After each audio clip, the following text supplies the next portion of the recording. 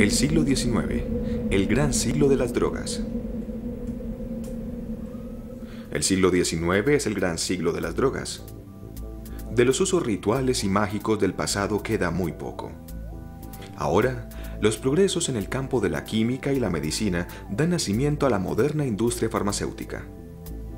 Los médicos recetan drogas como cura, pero también están al alcance de cualquiera en boticas y droguerías y se usan como evasión, como búsqueda de placer y de sentido a un mundo que está cambiando quizá demasiado deprisa.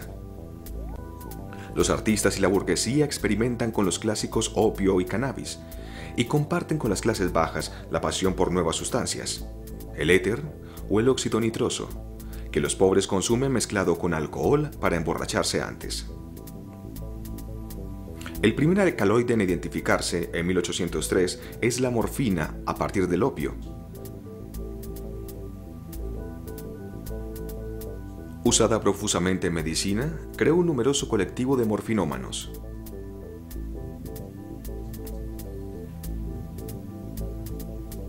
La cocaína se aísla por primera vez en 1859 y se comercializará durante medio siglo bajo la forma de tónicos curativos y estimulantes, e ignorando su capacidad adictiva.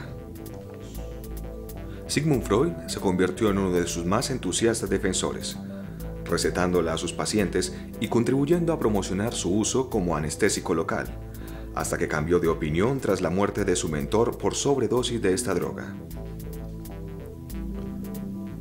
Utilizada para incrementar el ardor de las tropas en las guerras, fue consumida por Edison y el Papa León XIII bajo la forma de tónico estimulante.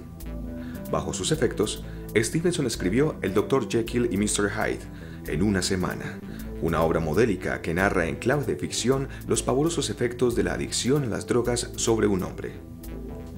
A finales de siglo se sintetizó la diacetilmorfina, también llamada heroína, cuyo descubrimiento paralelo a la aspirina convirtió a su modesto inventor, los laboratorios Bayer, en un gigante de la química.